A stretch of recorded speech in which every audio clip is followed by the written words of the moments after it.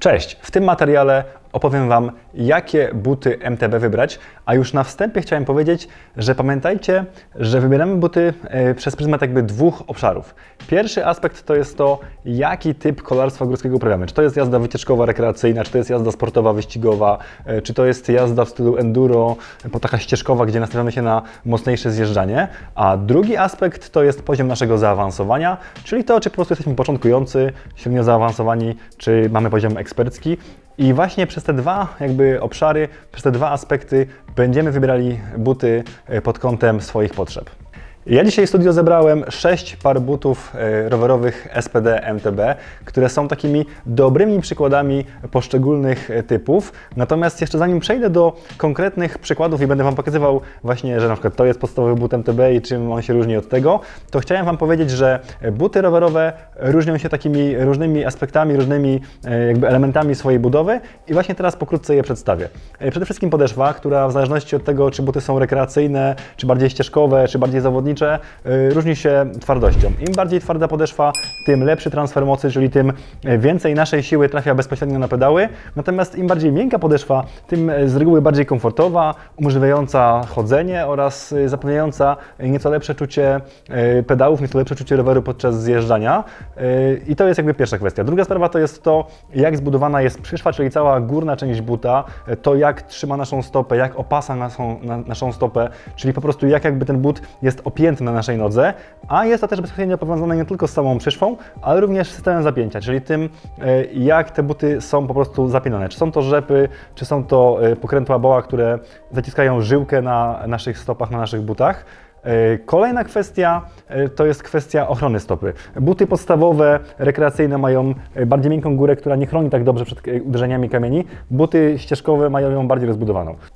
Kolejna sprawa, którą chciałem Wam jeszcze dzisiaj powiedzieć, to kwestia masy. Oczywiście buty sportowe są lżejsze, buty e, zjazdowe są cięższe, buty turystyczne są e, gdzieś tam pomiędzy i generalnie im but lżejszy, e, tym lżejsze pedałowanie, łatwiejsze pedałowanie, po prostu nasze obracanie pedałami jest bardziej efektywne i mniej męczące. Tutaj różnice nie są ogromne, natomiast kiedy chodzi o ściganie, ważne jest to, żeby buty były jak najlżejsze. No i na koniec jeszcze kwestia wentylacji. Standardem jest to, że buty wycieczkowe i buty do jazdy ścieżkowej są nieco gorzej wentylowane, wentylowane, natomiast buty do ścigania są wentylowane doskonale. I tak naprawdę e, to są te wszystkie e, kwestie, które będą się dzisiaj przewijały przez cały materiał, no bo te właśnie poszczególne buty, które dzisiaj tutaj zebrałem, y, różnią się właśnie na tych poszczególnych polach, które właśnie wymieniłem. Zaczynamy od podstawowych butów MTB. Tutaj mamy w studio Shimano XC1. To jest bardzo dobry przykład właśnie takich typowych butów entry level, butów dla początkujących, które wybieramy wtedy, y, kiedy zaczynamy naszą przygodę z jazdą na rowerze górskim z pedałami zatrzaskowymi. No i zwróćcie uwagę na szereg rozwiązań, które są charakterystyczne właśnie dla obuwia dla początkujących. Przede wszystkim podeszwa. To jest podeszwa, która jest wykonana z plastiku i właśnie e, podeszwy z plastikowego tworzywa właściwie są standardem i dominują we wszystkich butów e, dla początkujących.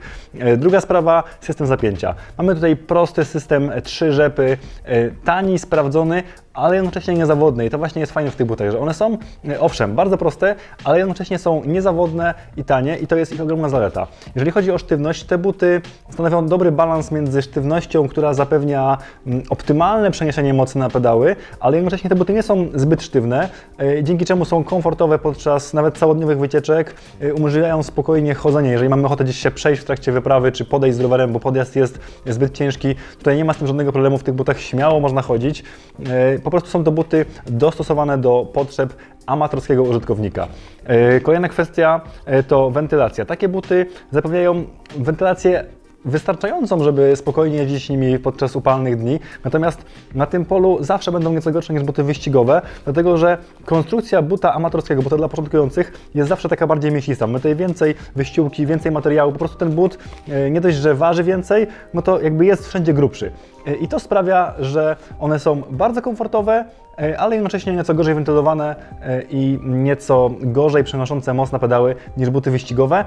Ale pamiętajmy, że te buty są stworzone do tego, aby w nich rozpoczynać przygodę z kolarstwem górskim e, i właśnie do tego celu sprawdzają się bardzo dobrze. Wraz z rozwojem naszej pasji rowerowej zwykle przychodzi moment, że potrzebujemy butów, które są nieco bardziej zaawansowane. No i wtedy e, przychodzi pytanie, czy kierujemy się w stronę ścigania i potrzebujemy butów stricte wyścigowych, tak jak tutaj te Gianty, czy jednak niekoniecznie patrzymy tylko na osiągi, ale chcemy już butów, które są po prostu nieco lepsze.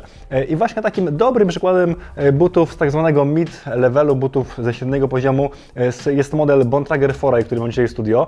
I zwróćcie uwagę, że tutaj jest zupełnie inny system zapięcia. Mamy jednego rzepa na samym dole, ale już całą górną część obsługuje pokrętło BOA. I właśnie to jest charakterystyczne dla butów z tej średniej półki, że y, rzepy są domeną butów dla początkujących, a później mamy już do czynienia z systemami bardziej zaawansowanymi, na przykład ze sprzączką bądź właśnie z pokrętłem. Y, w ostatnich czasach pokrętło jest niewątpliwie najbardziej popularne. Zwróćcie uwagę, mam tutaj 6 par butów, z tego 4 mają pokrętło y, i żyłkę boa. I jest to bardzo fajna sprawa, dlatego że tutaj jednym ruchem ręki w bardzo prosty sposób możemy dokonać korekty zapięcia buta w trakcie jazdy. Czy to zaciśnięcie go mocniej, czy lekkie poluzowanie. Jest to bardzo istotne, dlatego że kiedy mamy rzepy, no to ciężko jest go odpiąć, y, poluzować bądź naciągnąć odpowiednią siłę i jeszcze zapiąć, także y, boa y, czy też sprzączka w trakcie jazdy pozwala po prostu regulować napięcie bez zatrzymywania się i to jest właśnie cecha butów z tej nieco lepszej półki. No i zwykle buty z tej średniej półki mają też już nieco sztywniejszą podeszwę, która jest stanowi taki pomost między twardymi, sztywnymi butami wyścigowymi, a tymi takimi najbardziej miękkimi butami dla początkujących. I to jest taki but, który już jakby zapewnia lepszy transfer mocy niż te buty dla początkujących, ale jednocześnie nie jest tak twardy, tak jakby e, stricte ścigancko przygotowany jak buty e, wyścigowe. Jeżeli chodzi o sztywność, o której właśnie tak dużo teraz powiedziałem, to e, w tych butach podeszwa w zależności od firmy jest albo wciąż plastikowa, ale wykonana z twardszego tworzywa plastikowego, albo plastikowa wzmocniona jakimś włóknem, na przykład włóknem szklanym, e, albo podeszwa e, bywa też karbonowa. E, tak naprawdę to wszystko zależy od producenta. Jedni stosują podeszwy wciąż plastikowe, tak jak Bontrager, inni mają już karbonowe, natomiast buty ze średniej półki zwykle będą miały większą sztywność niż buty dla początkujących i bardziej zaawansowany system zapięcia. Są po prostu lepsze, e, efektywniej przenoszą moc na pedały e, i będą adekwatne e, dla osób, które myślą o ambitnej jeździe, są już lepsi fizycznie, ale niekoniecznie patrzą tylko przez pryzmat ścigania na obuwie rowerowe. Przechodzimy do kolejnego typu butów typowo wyścigowych, przeznaczonych do ścigania się w cross country i maratonach. Ja dzisiaj w studiu przygotowałem dla Was e, Giant Charge Pro, czyli właśnie e, najwyższy model Gianta przystosowany do rywalizacji w cross country i maratonach. No i zwróćcie uwagę, że tego typu buty e, są już maksymalnie odchudzone e, i maksymalnie usztywnione. Wszystko po to, żeby e, cała moc, którą wkładamy w nasze pedałowanie trafiała bezpośrednio na napęd, przekładała się na jak najwyższą prędkość jazdy. No i wyścigowe buty MTB mają standardowo bardzo sztywną karbonową podeszwę do tego, jak najcieńszą, jak najlżejszą tą całą górną część. Wszystko po to, żeby zapewnić maksymalną wentylację oraz idealne dopasowanie całego buta do stopy.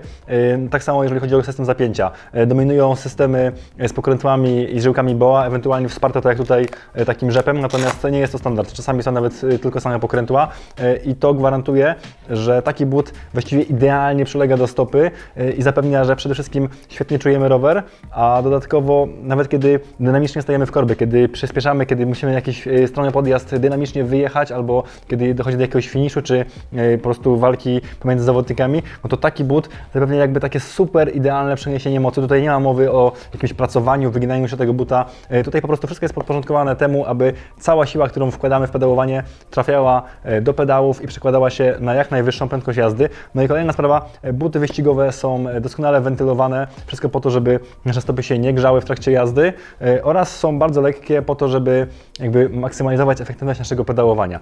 Bardzo ważne jest też to, że w butach do ścigania zwykle mamy e, dużo bardziej wąską i przylegającą e, całą tą konstrukcję. E, pięta jest węższa. Wszystko po to, żeby w sytuacjach, kiedy pedałujemy z wysoką kadencją albo kiedy atakujemy, kiedy mocno przyspieszamy, żeby ta stopa idealnie była trzymana przez taki but. No i to właśnie się wyróżnia w butach wyścigowych od butów bardziej turystycznych. Tutaj po prostu mamy perfekcyjne dopasowanie do stopy, maksymalnie sztywną konstrukcję.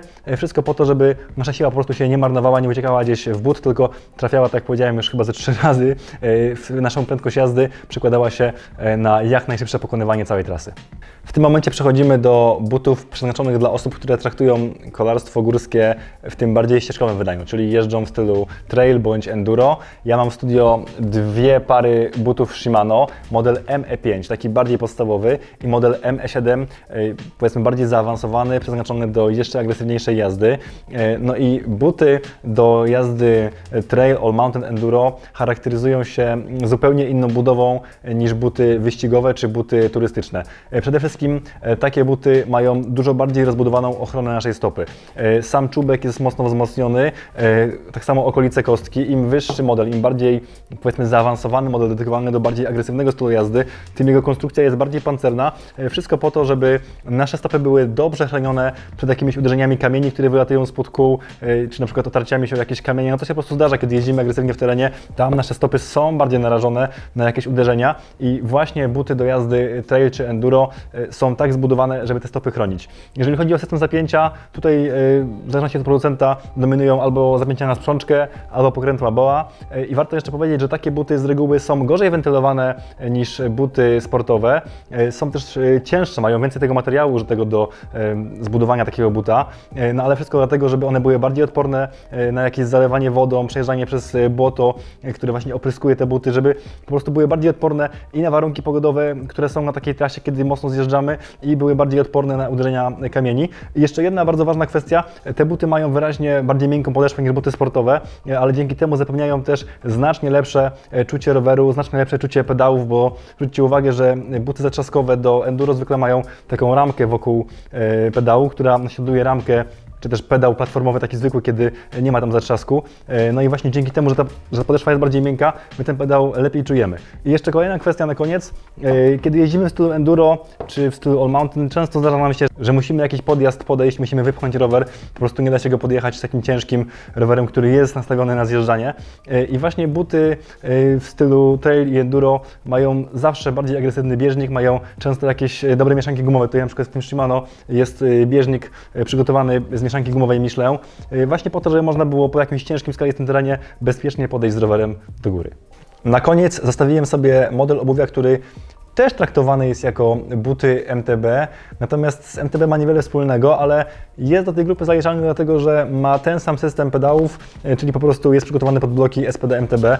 Tutaj akurat jest model Bontrager Cadence i to jest bardzo ciekawy but, ponieważ to jest obuwie, które zostało przygotowane przez producenta pod kątem jazdy na spinningu, pod kątem po prostu indoor cyclingu. No i zwróćcie uwagę, że te buty mają takich kilka cech. Przede wszystkim są bardzo lekkie i przewiewne, także tutaj nie ma mowy o jakimś przegrzewaniu się, kiedy jeździmy na sali treningowej, na rowerze stacjonarnym. Druga sprawa, prosty system zapięcia, tylko jedno pokrętło, które po prostu jest proste w obsłudze, szybkie, tutaj nie ma mowy o jakichś trzech rzepach, tylko jedna rzecz, która obsługuje zapięcie całego buta. No i jeszcze jedna sprawa, te buty mają miękką podeszwę, w której można spokojnie chodzić. Blok jest też mocno schowany tutaj w środku, także w tych butach możemy spokojnie chodzić sobie po siłowni, a na przykład potem pójść trening na rowerze stacjonarnym. I w tym miejscu chciałem powiedzieć, że tego typu obuwie jest też dobrym pomysłem do jazdy turystycznej. Akurat buty turystyczne zwykle są wiązane albo mają jakiś system rzepów, tak jak buty podstawowe MTB, natomiast Buty Cadence, które mam tutaj, akurat są dedykowane do spinningu, ale są bardzo podobne swoimi cechami do butów turystycznych, bo buty turystyczne to są właśnie takie buty, które są praktycznie cywilne z wyglądu, są bardzo miękkie, można w nich spokojnie sobie chodzić, na wycieczce zatrzymać się, pójść sobie na obiad, na jakiś punkt widokowy i tak naprawdę łączą sobie funkcje butów, które wyglądają jak cywilne z butami rowerowymi i dodatkowo jeszcze spokojnie można w nich chodzić. I właśnie Cadence jest tego niezłym przykładem, chociaż mówię, akurat Bontrager dedykuje go do spinningu. Dzisiaj w studio brakuje tutaj jednego modelu butów. Ja uważam, że takim bardzo ważnym jeszcze jednym typem są buty zimowe, dlatego że dla osób, które dużo jeżdżą na rowerze, to jest po prostu maksymalne zwiększenie komfortu podczas jazdy w chłodne dni. Buty zimowe są z reguły miękkie, właściwie nie mają w ogóle dobrego przeniesienia mocy, nie oferują dobrego czucia roweru, maksymalnie usztywniają kostkę, ponieważ są wysokie, ale dla osób, które dużo jeżdżą zimą, buty zimowe są doskonałym rozwiązaniem, dlatego że są po prostu ciepłe i zapewniają to, co najważniejsze, czyli komfort termiczny podczas jazdy w ujemnych temperaturach albo w wilgotne dni. E, Natomiast zbierając teraz to wszystko w podsumowanie, e, chciałem Wam tylko powiedzieć, żebyście pamiętali, że dobrze dobrane buty, czyli buty dobrane do tego, e, jak jeździcie na rowerze, czy to jest to jazda wycieczkowa, sportowa, czy ścieżkowa, oraz buty dobrane do Waszego poziomu, czyli czy są to buty dla bardziej początkujących kolarzy enduro, czy dla bardziej zaawansowanych, czy bardziej początkujących kolarzy, którzy chcą jeździć w stylu XC, czy dla bardziej zaawansowanych, to właśnie dobrze dobrane buty do Waszego poziomu oraz stylu jazdy gwarantują Wam maksymalną wygodę, przyjemność oraz efektywność jazdy na rowerze, a to właśnie jest najważniejsze, żeby sprzęt nam służył i pomagał, a nie przeszkadzał. I właśnie przez pryzmat tego wybierajcie buty rowerowe dla siebie. Jeżeli to wideo Ci się podobało, koniecznie zostaw kciuka w górze, no i zostaw suba, żeby być na bieżąco z naszymi treściami na kanale Bike World. Ja tymczasem się z Wami żegnam. Dzięki, do zobaczenia.